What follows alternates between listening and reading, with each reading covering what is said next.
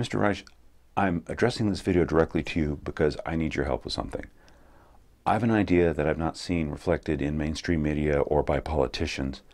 I believe that Donald Trump wants a border wall because he wants his construction interests to build a wall so that he can personally profit from its construction.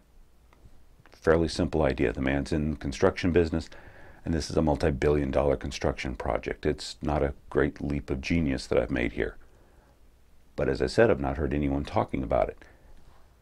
What I'd like you to do is if you think I'm onto something, would you consider making one of your videos and bringing this idea to the public? People will listen to you. They know who you are, they respect you.